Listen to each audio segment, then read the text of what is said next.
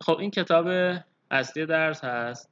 چند تا کتاب خوب دیگه هم هست که من حالا معرفی خواهم کرد تو کانال درس. ولی در بین کتاب های مختلف که هر کدوم اپروچ مخصوص خودشون رو داشتن من به نظرم این اپروچ این کتاب اپروچ طبیعی و در واقع نسبتا ساده تری داشت. کتاب هم کتاب جدیدیه. از روی فهرست توضیح بدم دو فصل اول تقریبا پیش نیازهای موضوع رو میگه.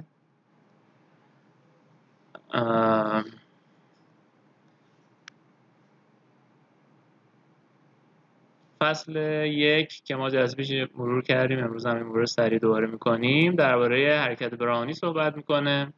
منتها با دید و نوتیشنی که می‌خواد در ادامه ازش استفاده بکنه. و فصل دوم درباره انتگرال تصادفی و فرمول ایتو و این چیزا. ما حالا این جلسه و شاید جلسه بعد این دو فصل رو با هم می‌خونیم. بعد از فصل سه موضوع اصلی در واقع کتاب با تعریف مشتق در واقع ملیوان. البته درستش این ملیونه به نظرم. تلفظ درستش ولی ما در این درس بهش میگیم ملیوان چون ساده تره تلفظش.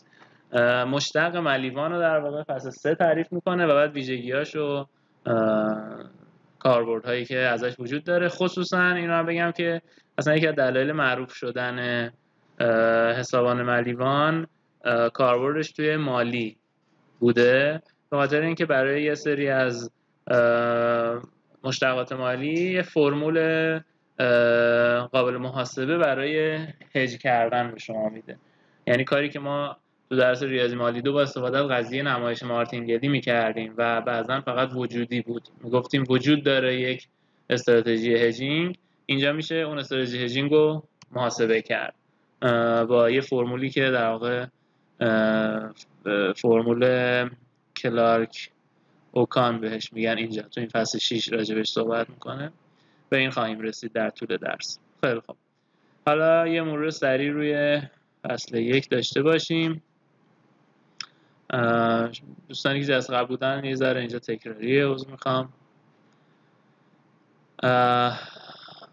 خب. اینجا رو بریم پایین. اینجا که تعریف حرکت برانیه نکته خاصی نداره اینجا حرکت برانی رو به عنوان یک فرآیند گاوسی می‌خواد نگاه بکنه و همونطور که می‌دونیم با توجه که میانگینش صفره تنها نکته ای که میمونه برای مشخص کردن فرایند اینه که کوواریانس رو مشخص بکنیم. که همونطور که می‌دونیم کوواریانس حرکت برانی میشه مینیموم اسوتی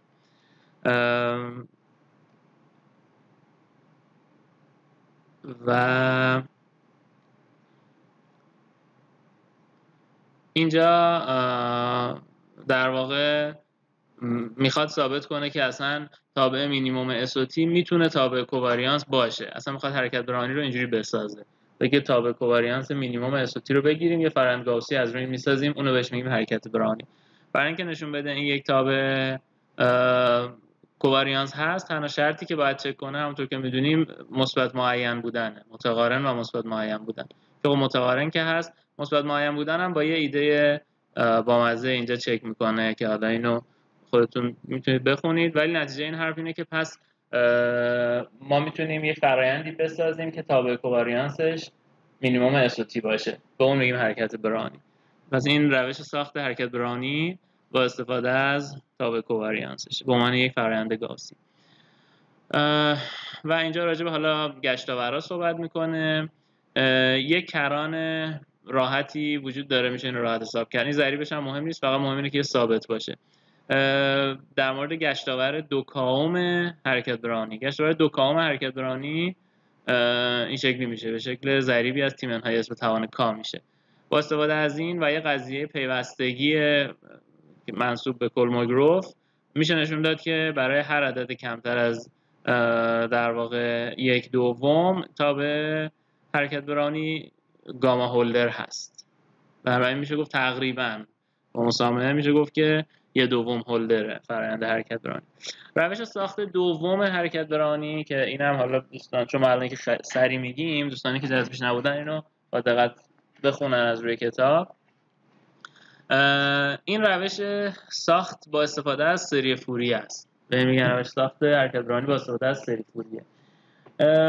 که به این صورت در واقع میاد انجام میده که سری فوریه ایدهش چیه؟ سری فوریه ایدهش این هست که شما یک پایه بزن اینجا بنویسیم. شما یک پایه در واقع متعامد یکه برای فضای L2 صفر و تی در نظر بگیرید. مثلا اون پایه در واقع باشه E1 E2 الاخر به عنوان مثال تابع سینوس کوسینوسی می‌تونه یه پایه باشه دیگه. پس هر کدوم از اینا در واقع یه تابعی از تیه ها و سری فوریه یعنی اینکه شما تابعی که بهتون داده میشه رو هر تابع افتی رو بست بدین بر حسب این ای آی تی ها. ها حالا سوال اینه که سری فوریه حرکت برانی چیه؟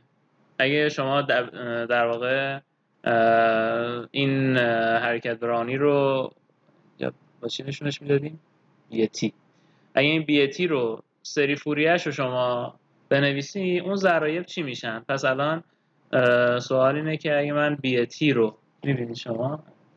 بیتی رو اگر بست بدم بر حسب این توابع پایه‌ای.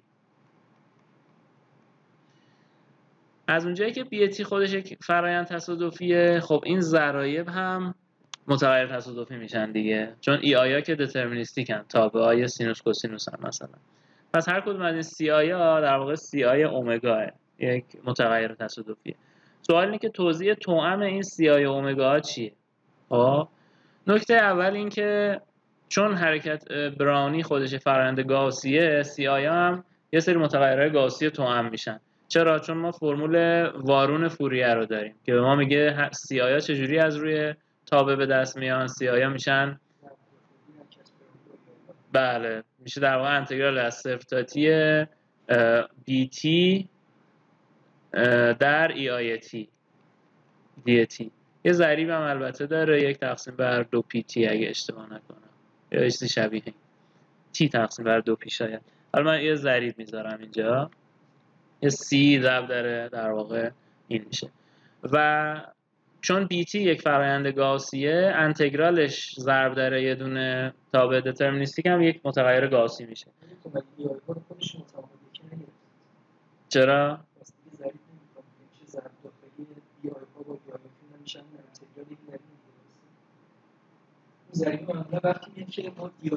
آها یک نگرفته باشیم.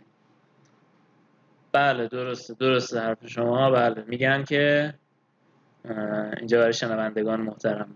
میگن که چون ای آی ها رو متعامد یک فرض کردیم بنابراین وقتی بسط میدیم ضرایب دقیقا میشن ضرب داخلی. یعنی سی آی میشه ضرب داخلی تی و ای آی تی. درسته کاملا ضرب داخلی هم که ما اینجا به شکل انتگرال تعریف کردیم. پس این واقعا اینجا نیازی نیست. بسیاری پس خلاصه سی آی‌ها گاوسی میشن. پس بردار توام سی تا الی آخر در واقع یه بردار گاوسی هست. حالا ما باید بگیم چه بردار گاوسیه. و حالا این کار میشه کرد. میشه این ضرایب رو به دست آورد. یه کوواریانس نچندان ساده ای سی آی ها بین همدیگه پیدا می‌کنن. کاری که وینر انجام داده اومده به جای اینکه برای خود بیتی سعی کنه سری فوریه بنویسه برای مشتقش. که البته می‌دونیم وجود نداره سعی کرده سری فوریه بنویسه. و اتفاقی که میفته اینه که مشتقش سری فوریه ساده ای پیدا می‌کنه. در واقع بی dot تی اگه بذاریم اسمشو که میشه یه جور white noise در واقع میگه که بی dot تی رو اگر شما بسط بدین میشه یه سری زد آی در EIT که ZI ها گاوسی مستقل هستن. آه. این چیز نابدیهیه. ولی برای اینکه اینو اثبات کنیم میام ثابت می‌کنیم که انتگرال این در واقع که میشه انتگرال این که این باید بشه همون BT ثابت می‌کنیم این عبارت سمت راست به ما حرکت برانی رو میده. این چیزیه که اینجا ادعا کرده. اگه شما دنباله البته اینجا اندیسش از صفر شروع کرده. زد یه دنباله گاسی استاندارد باشه. ای هم که همون پایه متعامل هستن. این سیگما رو که شما حساب کنی رو بذاری بی تی. این بی تی یک حرکت براونی میشه. خب؟ چک کردنش وقتی ما بدونیم دیگه ساده است. ما بدونیم چیه چک کردنش خیلی ساده است. چون فقط کافیه که کوواریانس رو چک کنیم. کوواریانس هم به این صورت چک می‌کنه. میگه که حاصل ضرب یه بار از صفر تا تی گرفته یه بار از صفر تا اس. امید حاصل ضرب باید بگیم میشه مینیمم اس و تی. نکته مهم اینجا اینه که وقتی شما در واقع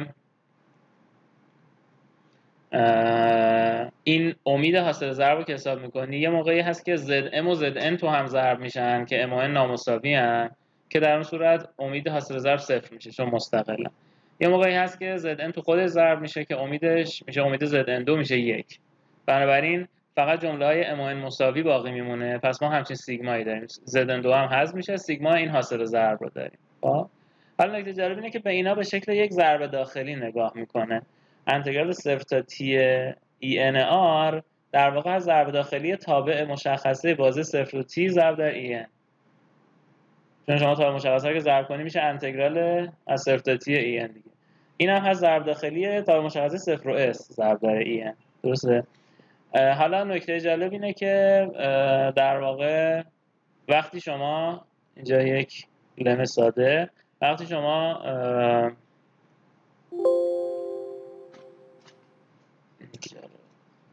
رنگ سفید بهتره یا سیاه به نظر شما؟ سفید رو امتحان کنیم بعد شما نظر. سیاه. وقتی شما دو تا تابع F و G داشته باشین. هر کدوم از اینا رو می‌تونید بست بدین بر حسب عناصر پایه. ضریبش هم همونطور که دیدیم میشه ضرب داخلی F توی EN G رو هم می‌تونین به همین صورت بست بدین. اون وقت اگر F و G رو تو هم ضرب داخلی کنید چی میده؟ F و G رو وقتی تو هم ضرب داخلی کنید میشه سیگما حاصل ضرب ذرایع همونجوری که ضرب داخلی توی RN رو تعریف می‌کنیم. یعنی میشه سیگما F و EN G و EN دلیلش هم البته خیلی ساده است. بخاطر اینکه وقتی شما این دو رو ضرب داخلی کنید EM و EN نامساوی وقتی تو هم ضرب داخلی بشن صفر میشه. EN هم با خود ضرب داخلی بشه یک میشه پس همین این جملات باقی میمونه. خب؟ حالا برگردیم به این محاسبه. اینجا ما چی داشتیم؟ ضرب داخلی باز تا مشخصه صفر و تی تو این ضرب داخلی تا مشخصه صفر و اس تو این. وقتی این سیگما رو همه حساب کنیم میشه ضرب داخلی خود این دو تا تابع که این هم هست انتگرال حاصل ضربشون که میشه مینیمم اس چون از مینیمم اس به بعد یکیشون صفر میشه و حاصل ضرب صفر و این بنابراین اثبات این هست که اگر ما یه سری تصادفی به این شکل تعریف بکنیم این به ما حرکت براونی رو میده. این هم روش وینر برای تعریف حرکت بران خب یه روش سومی هم هست که من فکر نمی کنم ما لازم داشته باشیم. گرچه قبلا هم این رو دیدیم. البته اینجا چی داره میگه؟ اینجا اینجا راجبه اینجا داره راجبه این صحبت می‌کنه که ما روی بازه محدود تا الان فقط ساختیم. گسترشش به تا بی نهایت ساده است. شما از صفر تا تی و تی تا دو تی دو تی تا سه تی همجوری اینا رو میچسبونه به هم. این نکته خاصی نداره. اینجا هم حالت خاصی که پایه‌مون توابع سینوس کوسینوسی باشه رو مثال می‌زنه. این مثلا یه نمایش از حرکت براونیه. اگه شما توابع پایه‌ایتون رو کوسینوس بگیرین تو حالتی که بازه صفر تا دو پی باشه. این بست وینر میشه برای حرکت برانی. روش سوم که البته ما قبلا دیدیم تو درس ریاضی مالی حرکت ساختن حرکت برانی به عنوان حدی از قدم زدن های تصادفیه در واقع همونطور که قبلا دیدیم حرکت برانی هندسی حدی از مدل دو جمله میشه. اینجا هم حرکت برانی حدی از قدم زدن تصادفی میشه. که اینو سریع رد میشیم. شما یه دنباله از دنباله آیایدی از متغیرات در نظر بگیرین با میانگین صفر. واریانسشون با زیاد شدن n فرض کنید به شکل تی انوم کم بشه و در عوض تعدادشون متناسب با n زیاد بشه. یعنی گام زمانیتونم به شکل یک انوم کم بکنید. در این صورت اگر به این صورت اسکیل بکنیم اون فرایند حدی میشه فرایند حرکت برانی. که اینجا نوع حدگیری ما حد ضعیفه به معنای حد ضعیف اندازه ها تو فضای توابع پیوسته؟ برای با این ایده حرکت برانی رو به عنوان یک توضیح روی فضای توابع پیوسته می‌تونیم بسازیم. خیلی خوب. اینجا خواص حرکت برانیه که ما بلدیم. اسکیلینگشه. سریع رد شدیم. خود متشابه بودنشه که به این صورت می‌تونیم اسکیلش کنیم. خاصیت مارکوفی تقارنشه و این تقارن تی به یک تیومه که این هم چیز نابدیهیه ولی برقراره.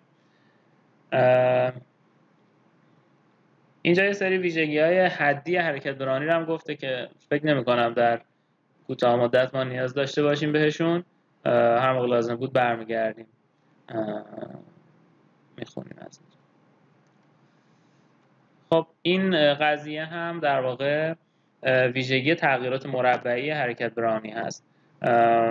توی درس حسابان تصادفی احتمالا این رو دیدین. وقتی شما شما هر تابعی که داشته باشین در واقع می‌تونین کمیت تغییرات مرتبه پی رو براش تعریف بکنین. به این صورت که این اگر تابع شما باشه دامنه رو افراز می‌کنید. تغییراتش رو هر کدوم از این در واقع بازه ها رو این میزان تغییرات ها رو چکار می‌کنید؟ به توان پی میرسونید و جمع می‌زنید. سوال اینه که به چه پی های این سیگما حد داره؟ برای توابع معمولی مثل توابع مشتق پذیر تغییرات مرتبه اول وجود داره. ولی تغییرات از مرتبه بالاتر صفر میشه حدش. دلیلش هم اینه که وقتی شما تغییرات تا روی بازه کوچیک در نظر می‌گیرید مثلا آی به علاوه یک منهای آی بر توابع مشتق پذیر این از مرتبه خود دلتا تی آیه یعنی میشه یه ضریبی که همون تقریبا مشتق ضرب در دلتا تی آی این سیگما قدر مطلق این تغییرات هم از مرتبه خود سیگما در واقع دلتا تی آیا میشه. خیلی شهودی بخوایم بگیم که این وجود داره. خب؟ ولی بر توابع مشتق ناپذیر مثل حرکت برانی خب این کرانو نداریم. این تقریب رو نداریم. و اتفاقی که میفته اینه که اصلا تغییرات مرتبه اول یعنی این سیگما به بینهایت میل می‌کنه. اگه شما بخواید این سیگما کراندار بشه باید یه توان بزرگتر از یک بذارین. مثلا برای حرکت برانی اگر توان دو اینجا بذارین این تفاضلات چون عدد کوچیکی هم به توان دو می‌رسن کوچیکتر میشن و دیگه این به بینهایت میل نمی‌کنه بلکه میل می‌کنه به تی. وقتی شما حرکت برانیتون رو بازه در واقع صفر تا تی در نظر گرفته باشین و این گزاره‌ای که اینجا ثابت کرده اینو داره میگه.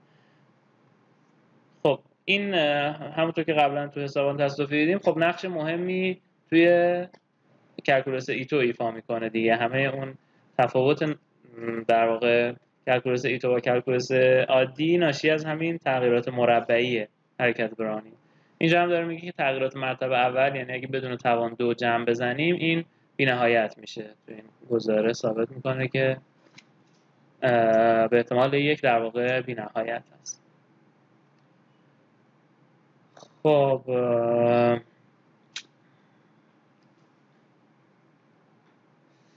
اینجا در واقع مفهوم انتگرال وینر رو تعریف می‌کنه. انتگرال وینر همون انتگرال تصادفی حالت خاصی از انتگرال تصادفیه که تابعی که ازش انتگرال می‌گیرید deterministic باشه. یعنی فی تابع deterministic که در نسبت حرکت براونی ازش انتگرال می‌گیرید نکته خاصی نداره چون همه چیز گاوسیه. تو دنیای گاوسی هستیم میانگینا هم صفره فقط واریانس باید بگیم چیه. که واریانس با اصطلاح ساده میشه که به طور طبیعی باید باشه انتگرال فی دو. در واقع حالا برای شما که فرمول ایتو رو بلدین این خیلی ساده است. ایزومتری ایتو به ما می‌گفت که امید این به توان دو میشه انتگرال فیتی به توان دو. این ولی خب خیلی ساده تر از اونه چون متغیرامون گاوسی هستن. بنابراین انتگرال وینر از این منظر جالبه که یک تناظر برقرار می‌کنه. در واقع یک نگاش به ما میده از توابع L2 به متغیرهای تصادفی گاوسی. به این صورت که فی رو می‌گیره و انتگرال فیتی دی بی تی رو میده. بنابراین اینه که این در واقع طبق ایزومتری ایتو این یک ایزومتریه. یعنی اینکه نرم فی تو فضای L2 سمت چپ میشه نرم این متغیر تصادفی که میشه امید توان دوش. و البته اینجا نحوه ساختش اینجوریه که اول برای توابع پله ای ثابت می‌کنه این گذاره ها رو بعد حد می‌گیره. اون توابع پله ای چه توی توابع L2 در واقع. خب.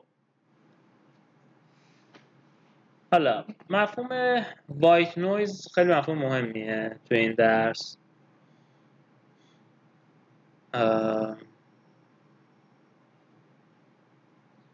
white noise رو خیلی جورای مختلفی تعریف می‌کنن توی کتاب های مختلف. و توی مثلا حتی کتاب غیر ریاضی هم البته white noise دارن ولی اونا خیلی تعریف غیر دقیقی دارن. مثلا خیلی ساده مشتق مثلا مهندسا. مشتق حرکت براونی رو می‌گیرن white noise که شهودش درسته ولی خب به لحاظ نظر ریاضی درست نیست به خاطر اینکه حرکت براونی مشتق نیست. یه راه ساده برای در رفتن از این مشکل اینه که white noise رو به عنوان یک functional نگاه بکنیم. خب؟ این functional قرار چیکار بکنه؟ ببین white noise یعنی چی هستن ما چجوری به آها سفید بهتر بود یا سیاه؟ سفید بهتر بود. همه موافقن؟ سفید می‌تونیم یکی در میون. رنگای دیگه هم هست البته آبی قرمز سبز. هر کدوم دوست داشتیم. خب. خب ببین white noise شهودا قرار همچین چیزی باشه. مثلا شما روی بازه صفر T یه white noise می‌خواین بسازین معنیش اینه که تو هر نقطه از این یک متغیر نرمال مستقل از سایر نقاط قرار مثلا بگیریم کلا اینا هیچ ربطی به هم ندارن. یعنی white noise قرار یک موجودی باشه مثلا چه بذاریم W که WT و WS اینا مستقل و نرمال قرار باشن. یعنی هر دو هر تی اسی کلا از هم مستقل. این خب خیلی فرض قویه نسبت به مثلا نموهای مستقل حرکت برانی. حرکت برانی نمیگه که بی تی و بی اس مستقلن میگه که تغییراتش تو دو تا بازه مجزا در واقع مستقلن یعنی شما از اینجا تا اینجا بگیری با اینجا تا اینجا بگیری تغییرات تو این دو تا بازه در واقع دو تا چیز مستقل هستن. این اصلا داره میگه که مقدار فرایند تو همه نقاط مستقله.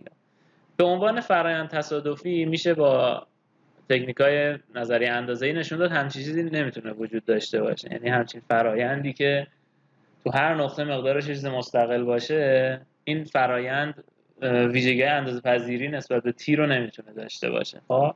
برای همین به شکل فرایند ما نمی‌تونیم white noise رو تعریف بکنیم. راهش اینه که بگیم خب ما چه استفاده ای می‌خوایم از white noise بکنیم؟ ما می‌خوایم از white noise بتونیم انتگرال بگیریم. یعنی بتونیم بذاریم اینو W dot بذاریم که با خود حرکت براونی قاطی نشه.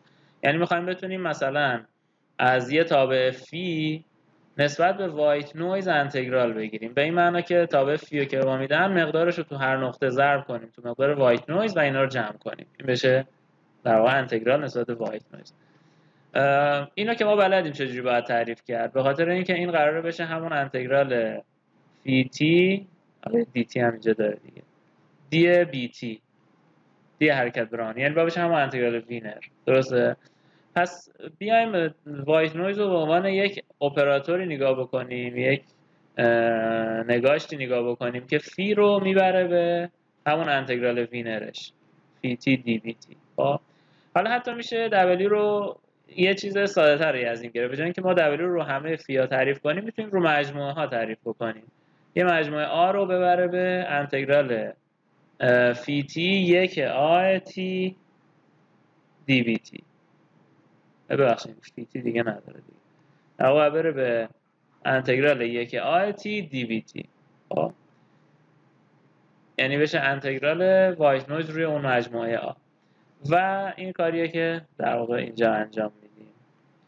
پس ما W رو به عنوان یک نگاشتی می‌گیریم که یه مجموعه A می‌گیره یه زیر مجموعه از Rn اینجا حتی بود رو از یه بعد که تو فرایند عادی هست می‌بره به m بعد اجازه میده اندیسش m بعدی باشه. پس یه زیر مجموعه آ می‌گیره که اندازه لبگش متناهی باشه و یه W آ بهش نسبت میده که این یه متغیر گاسیه پس وایت نوز یک خانواده از متغیر گاسی W آ. حالا اینا همبستگیشون چجوریه؟ امیدشون همه صفره. گفته سنتر دیگه. و واریانسشون میشه اندازه اشتراکشون. این هم خیلی فرض طبیعیه. به خاطر اینکه این در واقع همون فرض نموهای مستقله. اگه این مجموعه A باشه این مجموعه B باشه انتگرال white noise رو این باید مستقل باشه از انتگرال white noise رو این. یعنی تغییرات رو مجموعه A با تغییرات رو مجموعه B باید مستقل باشن. اگر هم اشتراک داشته باشن چی؟ اگه مثلا اون B بود اینم A بود اشتراکشون دقیقا correlation شون ناشی از اشتراکشونه. یعنی همون متغیر تصادفی اشتراک باید باشه correlation شون واریانس این قسمت مشترک میشه همون کوواریانس بین این دوتا متغیر. چون اون قسمت های مجزا دیگه مستقل از هم هستن. بنابراین به این فرض می‌رسیم به این رابطه می‌رسیم. به یه همچین خانواده ای میگیم یک white noise خانواده ای از متغیر گاوسی یکم البته در اولین برخورد کمی یه چیز سنگینی به نظر میاد. یعنی تناظر برقرار کردنش با اون تصور ما از وایت نوز شاید کم سخت باشه ولی مثل همه ریاضیات آدم عادت می‌کنه بعد از یه مدت بهش. در واقع یه ریاضیدانی هست گفته که هیچکس ریاضی رو یاد نمی‌گیره همه بهش عادت می‌کنن.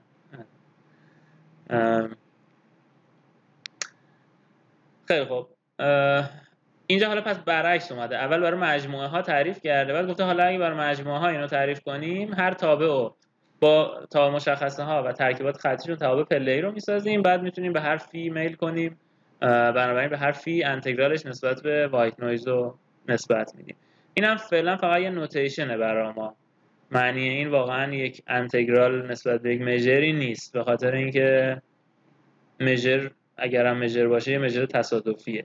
هنوز تعریف نکردیم یعنی چی.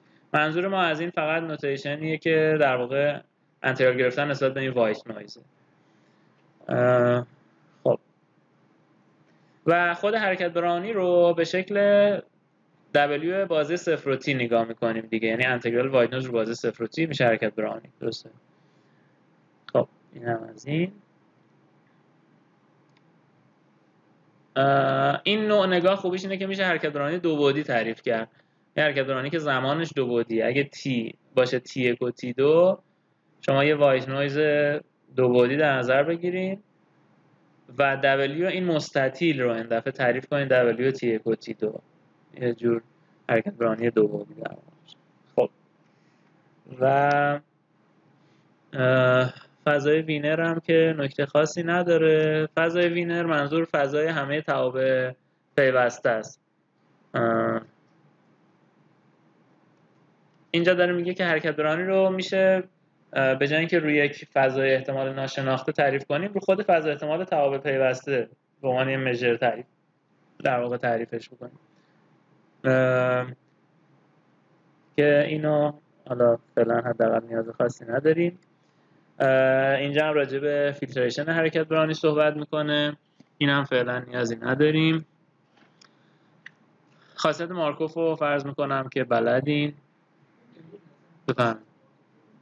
بفهم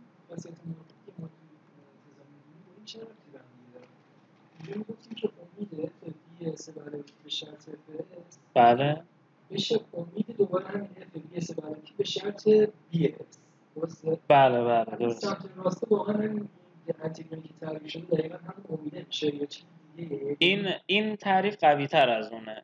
چون وقتی که شما سمت راستتون تابعی از bs باشه خود به خود اگر اینو به شرط به bs هم شرطی کنین باید همین بشه دیگه. ببین شما به fs شرطی کردین حاصلش شده تابعی از bs پس اگه به bs هم شرطی می‌کردین همین می‌شد. چون باید الان اینو به bs شرطی کنی چون تابعی از بی اس خودش میشه. یعنی بذار اینجا بنویسم. ببین.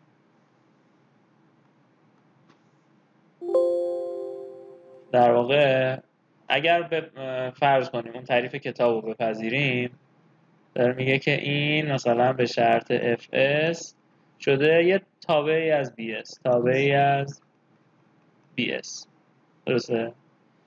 حالا اگه شما از کل این امید بگیرین به شرط bs خب؟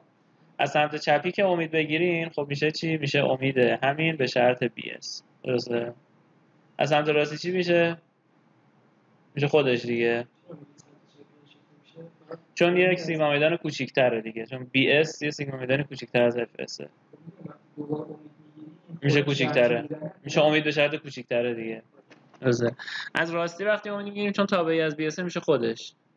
پس برای این دوتا مساوی میشن دیگه. یعنی اگه این فرایندی تو این تعریف صدق کنه تو اون تعریف هم صدق کنه برعکسش در حالت کلی درست نیست. این یک فرض قوی تریه چون داره میگه که اون تابعه چجور تابعیه.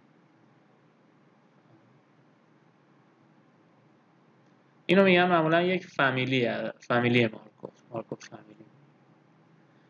ولی حالا به هر حال اون چیزی که ما از خاصیت مارکوف الان باید تو ذهنمون باشه اینه که بی حافظگی فراینده یعنی تو لحظه اسم اگه به فرایند نگاه کنیم دیگه گذشتهش مهم نیست فقط مهم الان کجاست.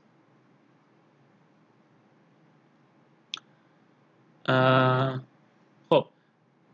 اینم چیز جدیدی نیست بلدیم فقط این ابزارهایی که در آینده می‌خواد استفاده کنه رو مرور می‌کنه. یکی از ابزارهای مهم مارتینگلایی که از روی حرکت براونی می‌سازیم. برای حرکت براونی bt یه مارتینگل خیلی کاربردی bt دو منهای T ه فرمول ایتو بزنین اینا همه مارتینگل بودنشون ساده است.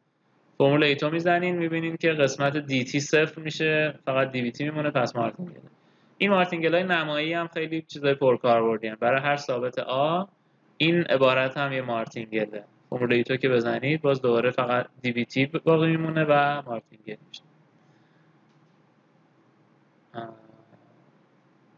اینجا یه کاربرد هم ازش گفته که حالا ازش رد میشیم. خب خاصیت مارکوف قوی هم بپریم از روش فعلا نیاز نداریم.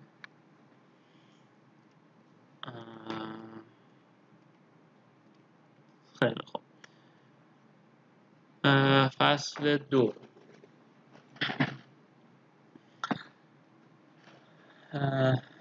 خب اینجا اینا هم اتمالا چیز جدیدی نداشته باشه. تعریف انتگرال تصادفی رو میگه و فرمول ایتو رو.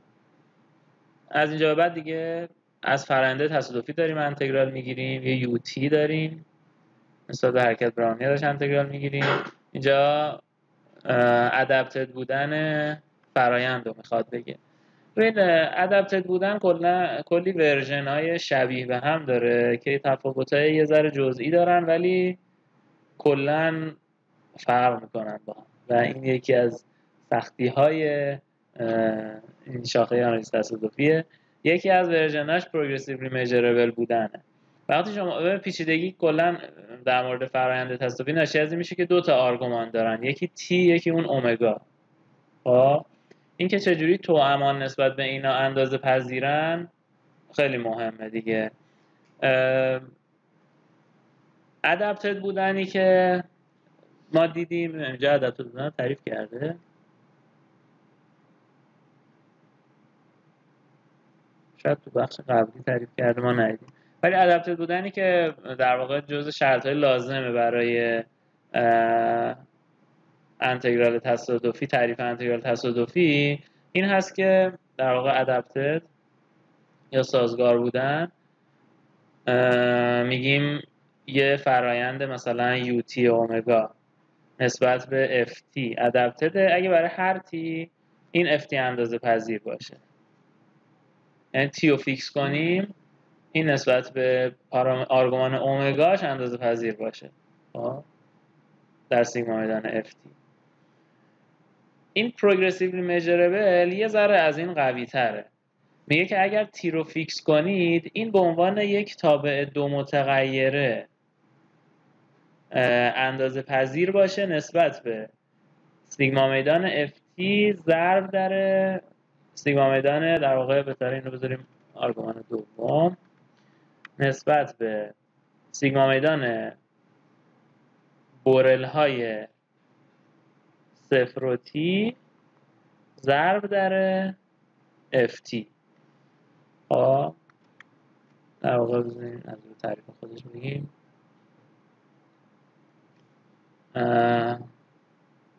بله دیگه. الان یو رو یه تابع دو متغیر نظر گرفتیم از اومگا و تی. میگه که همزمان هم نسبت به معلفه اول و هم نسبت به زمان. هم نسبت به معلفه تصادفی و هم نسبت زمان مجربل باشه. اینو اگر در بهرش برید چیز متفاوتی از ادپتد بودن. ولی مثلا برای فرایندهای معمولی که ما ازشون استفاده می‌کنیم هر دو برقراره یعنی یکیه ادپتد بودن و مجربل بودن. مثلا فرآیندهایی که چه می‌دونم تابعی از حرکت برانی باشه. هم ادپتد میشه هم پروگرسیولی مجربل میشه. ولی از نظر دقت آنالیزی تو بعضی از اثبات ها این فرض لازمه. خب.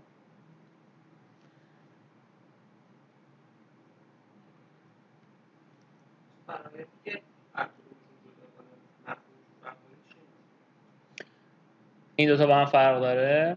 مثلا میشه فرایندی مثال زد که برای هر تی اندازه پذیر باشه. ولی تو عمل نسبت تی و اومگا اندازه پذیر نباشه. یه مثالش مثالا مثالا معمولا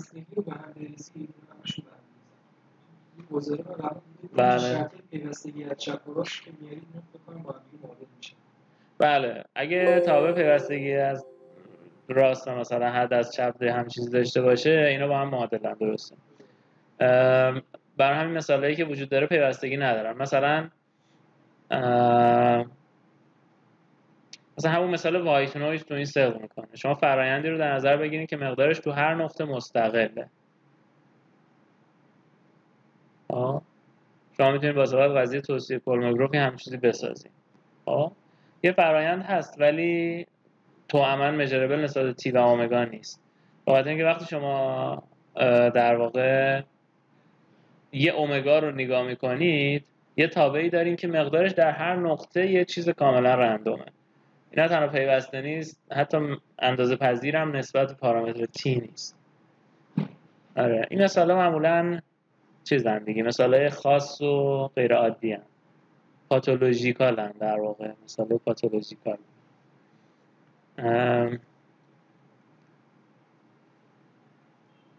حالا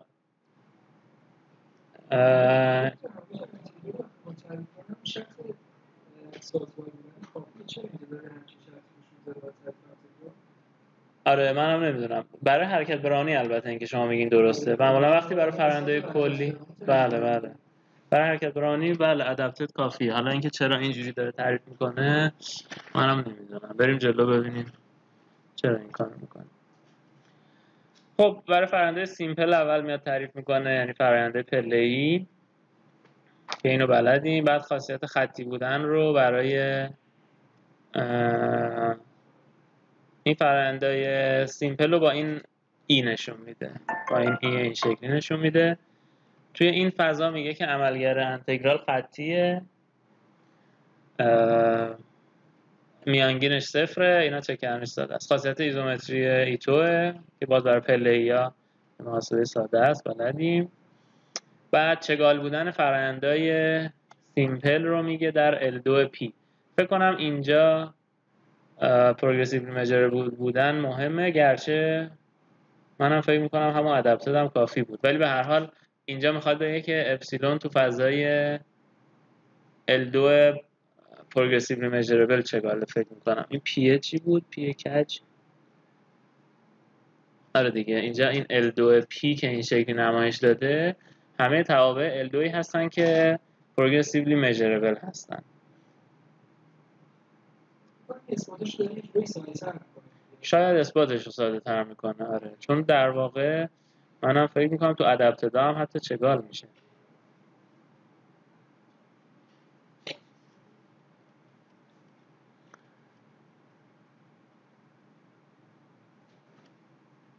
بله خب اینم حالا ما بلدیم از حسابان تصادفی رد کنیم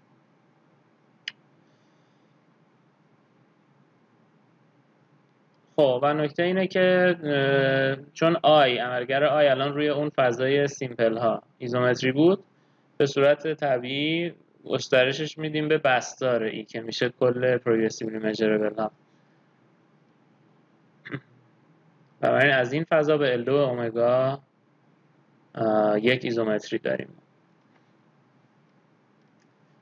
البته می‌دونید کتاب اوکسندال خیلی ریزکاری ها رو پیچونده. ممکنه که از آره شاید سالها در واقع به ما دروغ می‌گفتن.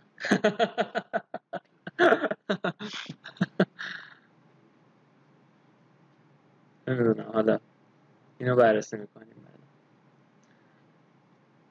خب اینجا هم حالا یه مثال حل کرده با این روش این کاری نداریم. اینم اینجا داره میگه که حالا انتگرال تا در واقع ال دو بی نهایت رو چجوری تعریف می‌کنه. سه تا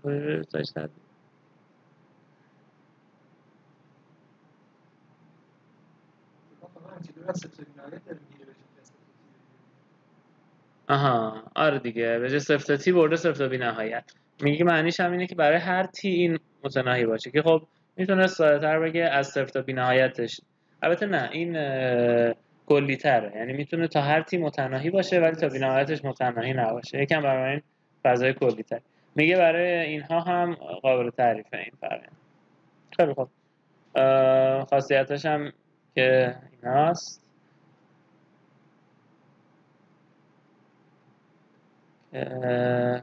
سادن همه. اینجا مثلا f یه متغیر تصادفیه و فقط باید دقت کرد که f نسبت به سیگما میدانش نقطه شروع بازه اندازه پذیره. در نتیجه میشه اوردش بیرون از انتگرال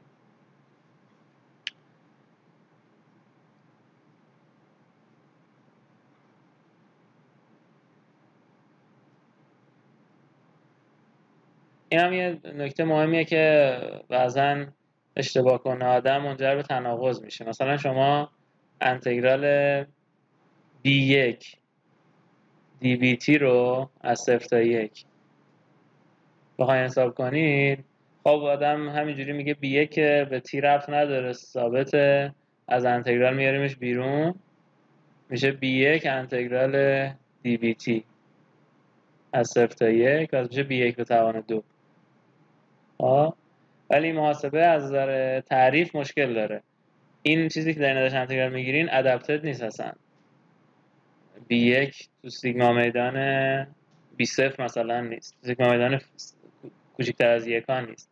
اینجا باید یه یوتی باشه که یوتی عضو افتی باشه دیگه. آه در یکم تناقض آمیزه در حالی که معلومه باید مساوی این باشه چیزی غیر از این نمی‌تونه باشه ولی به هر حال به روش ایتو شما نمی‌تونید این انتگرال رو تعریف بکنید شما با پله ای نمی‌تونید به این میل کنید به هیچ وجه. ولی به حال اینجا اگر F تو سیگما میدان نقطه شروع باشه میشه از انتگرال بردش بیرون. و این خاصیت مارتینگلیشه که همیشه مارتینگل میشه انتگرال تصادفی.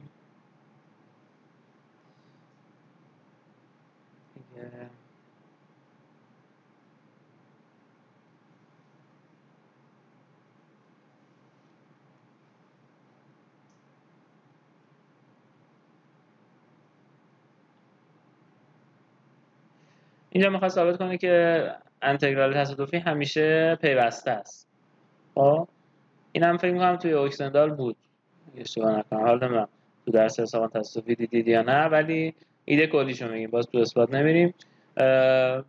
اینجور اثبات ها اولا نکته اولشون اینه که هیچ وقت نمی‌تونید ثابت کنید پیوسته هست یک فرآیند تصادفی.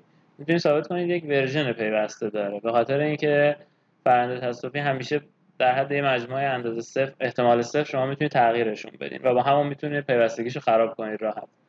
در ولی می‌تونید ثابت کنید که با اصلاح یک مجموعه اندازه صفر خلاصه پیوسته میشه. که همه اینا هم از یه قضیه پیوستگی حالا اینجا از قضیه پیوستگی از قضیه نامساوی ماکسیمال دوب استفاده کردم. در واقع نامساوی ماکسیمال دوب دوب خوبیش این هست که نرم سوپریموم فرایند رو به ما اجازه میده کنترل کنیم. که معمولا در مورد فرآیند تصادفی کار سختیه. شما این supremum و بردارین احتمال اینکه دو تا تفاضل دو تا فرآیند بیشتر از چیزی باشه خیلی نامساوی زیادی میشه براشون به کار برد مثل نامساوی مارکوف و اینا. ولی احتمال اینکه supremum این دو تا فرآیند یعنی فاصله supremum شون بیشتر از چیزی باشه خیلی سخته. و در مورد martingale ها فقط نامساوی دوب این ابزار رو به ما میده. خیلی ابزار قویه. و اینجا هم خوشبختانه چون انتگرال تصادفی martingale هستن ما می‌تونیم از این نامساوی استفاده کنیم. وقتی شما نرم supremum رو کنترل می‌کنید دیگه میشه از این قضایایی که حد توابع پیوسته با نرم supremum خودش پیوسته میشه هم استفاده کرد. در واقع تو اثبات که میرین همچین چیزیه. باز جزئیاتش رو می‌خوایم رد ولی ایده کلی اثبات همین چون انتگرال توابع پله نسبت به حرکت براونی پیوسته است و شما همه چیز رو به شکل حدی از اونا ساختین. بنابراین حد با نرم supremum توابع پیوسته رو دارین که این میشه ثابت کرد در واقع پیوسته خب اینا رو هم به نظر من الان رد کنیم. هر موقع که لازم بود برگردیم بهش.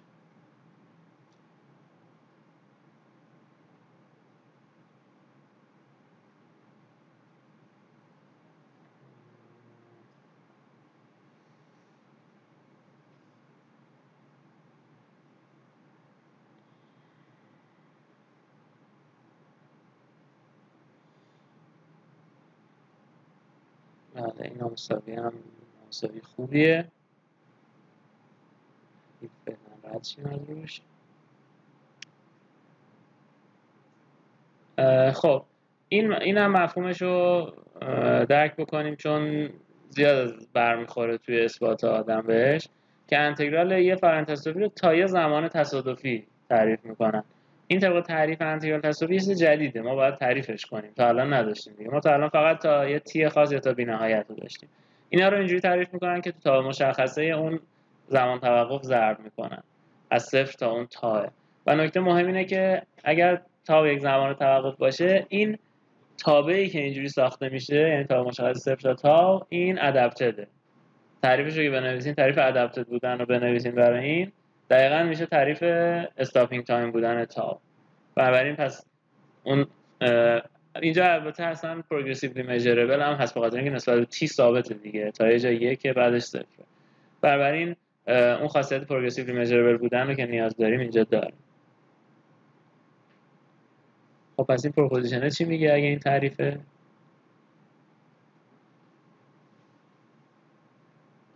نظر از در این تعریف نیست. اون سمت راستش رو گرفته از صفر تا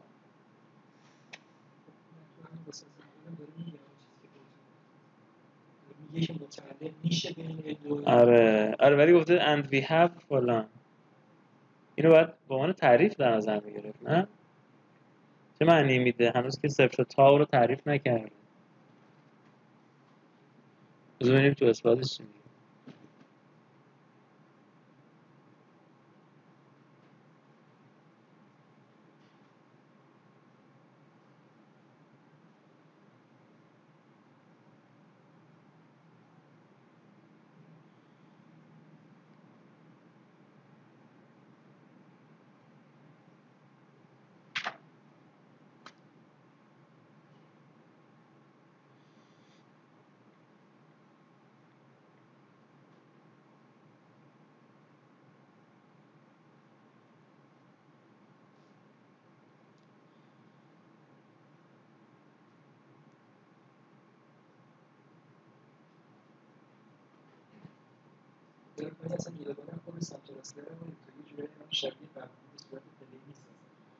بله. این میاد اول حالتی رو در نظر می‌گیره که مقادیر تاو یه مقادیر متناهی باشن. متناهی مقدار مختلف داشته باشه. تو این حالت میگه که می‌تونیم به شکل تاب پله ای اینو بسازیم.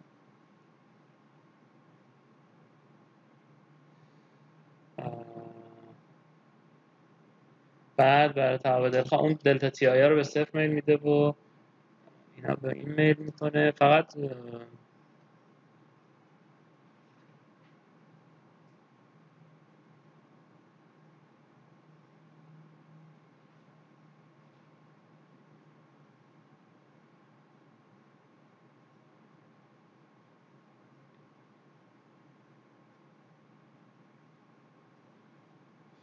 نظرم صورت قضیه رو خیلی با دقت نگفته. چیزی هم که داره ثابت می‌کنه این نیست که این مساویه اینه.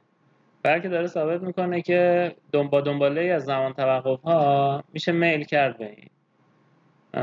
فکر می‌کنم بهتر بود اینجوری بگه حالا صورت قضیه رو که این رو به این صورت تعریف می‌کنیم و دنباله از زمان توقف های گسسته هست که در واقع با نرم L2 به این میل من برداشتم.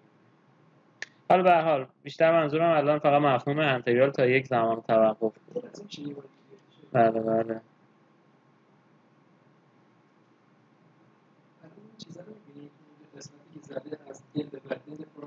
آره. آره دیگه. یو خیر از صفر تا تو بله. با این سمت چپیه که آره. سمت رو داره. تعریف می‌کنه بعد میگه تو منفی نه. با و چرا میگه اون متعدل آخه نه بخاطر به خاطر اینکه سمت چپی قابل تعریف باشه اینو میگه. چون داره تو سمت چپ از این انتگرال تصادفی می‌گیره. پس باید پروگرسیو میجربل باشه. ولی به نظر من باید می‌گفت and we define. انتگرال صرف تا تا رو می‌گیریم. این. شاید. یه روند اثبات داره سمت یه جوری میگه چیه؟ میگه چیه؟ بله. شاید منظورشم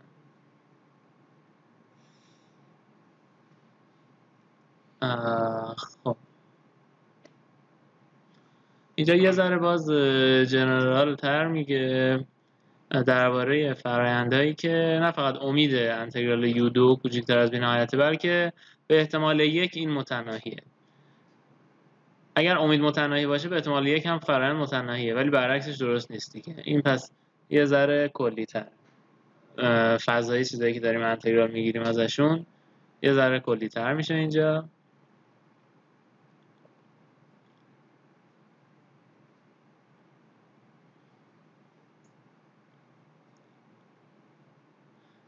ایده تعریف انتگرال برای این فراینده هم اینجا گفته. شما می‌تونید یه سری زمان توقف تعریف بکنید. ببینید چیزی که لازم بود برای تعریف انتگرال تصادفی این بود که انتگرال یو دو متناهی باشه امیدش دیگه. اینجا این انتگرال ممکنه خیلی زیاد بشه. میگه هر وقت مثلا رسید به n مقدارش فرایند رو متوقف کنید. یعنی یه زمان توقف تعریف کنید. Tn اولین جایی که این انتگرال یو دو تا اونجا n میشه. خب؟ بعد از اونجا به بعد می‌خوایم فرآیند رو متوقف بکنیم. یعنی تا مشخصه صفر تا تی ضرب کنیم که صفر بشه. خب؟ برای این فرایند متوقف شده انتگرال قابل تعریفه. چون این انتگرال n متناهی امیدش هم متناهیه. پس از تعریف کلاسیک انتگرال تصادفی قابل تعریفه.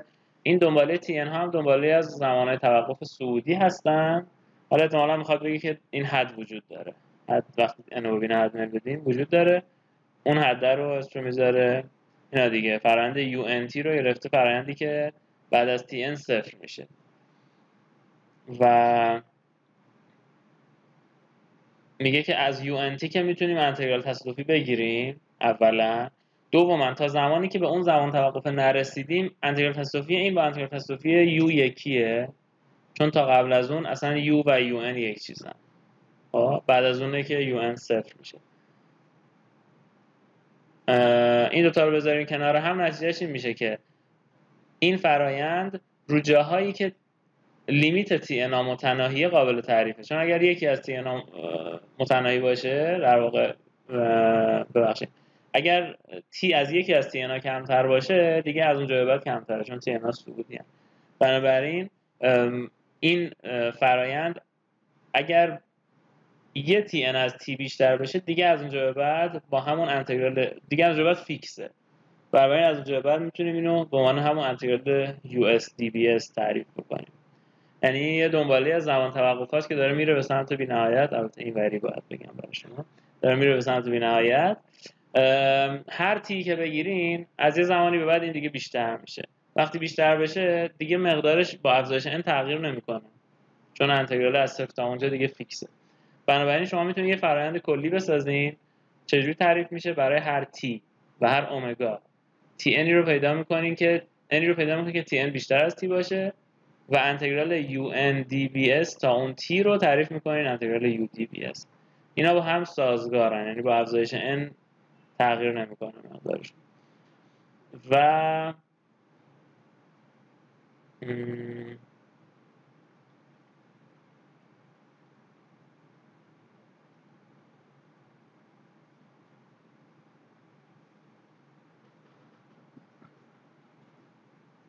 آره متخصصی نداره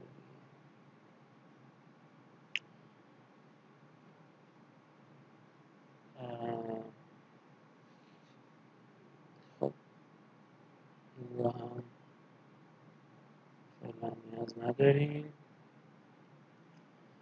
خب فرمول ایتو. اینه که بلدیم.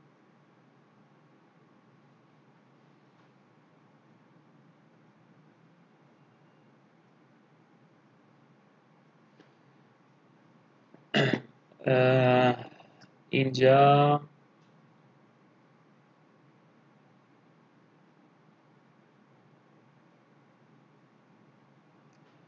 خب حالا نمیم اینو کجا استفاده می‌کنه ولی دیدنش بد نیست. دو تا فرایند ایتو در نظر بگیری. فرایند ایتو یعنی همه این شکلی. دیگه یه مقدار ثابت یه انتگرال نسبت حرکت برانی یه انتگرال ریمان. دو تا فرآیند ایتو مختلف نظر بگیریم.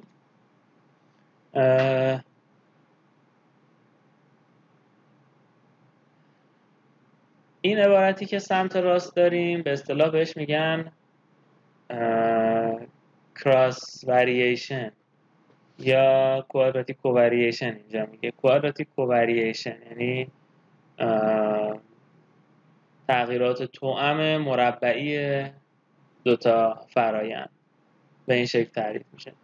این همون چیزیه که از اگر از فرمول ایتو یادتون بیاد وقتی که ما dx رو در dy ضرب می‌کنیم در واقع هم چیزی میشه دیگه. dxt dyt که می نوشتیم فقط قسمت های برانیشون تو هم ضرب می‌شد یه dt می اومد دیگه. بنابراین میشه دقیقا همین uxs uys ds یو هاشون ضرب میشه تو برای این انتگرال همون حاصل ضرب dxt dyt این گزاره داره میگه که این عبارت به نوعی حد تغییرات توأم دو تا تابع. تغییرات توأم همونجوری که تغییرات مربعی تابع تعریف میشه تغییرات توأم دو تا تابع همونجوری تعریف میشه. شما یه افراز بگیرید از دامنه. تو هر بازه تغییرات اینو ضرب کنید تو تغییرات اون اینا رو جمع بزنید. وقتی دلتا تی به صفر میل می‌کنه داره میگه که این تغییرات مربعی تغییرات توأم میل می‌کنه به این انتگرال.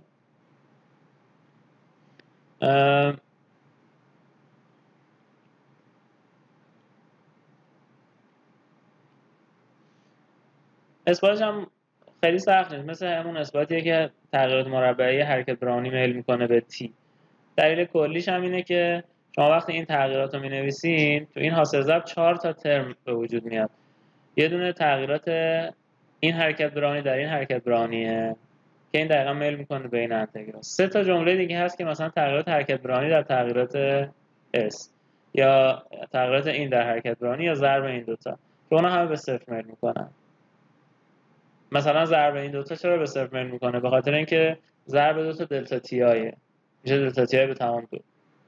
تی آی اگه بازتون رو این قسمت کرده باشین میشه یک انام به توان دو n تا هم ازش داریم میشه n ضرب در یک انام به توان دو میشه یک انام به صفر میل می‌کنه یعنی چون تعدادش از اردر n بزرگیش از اردر یک رو n دوه به صفر میل می‌کنه اون دو تا جمله دیگه هم همینطور اون هم میشه نشون داد به صفر میل می‌کنه برای فقط همین یکی از چهار جمله باقی میمونه که این هم میل می‌کنه به این انتگرال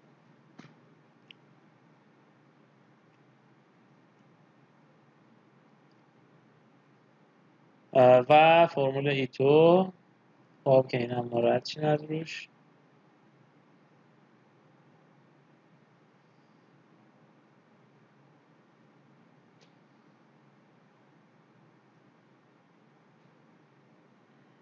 خب، مثال فرمول ایتو هم البته یادتون هست از اکسندال اکسندال هم فکر کنم همینجوری بود.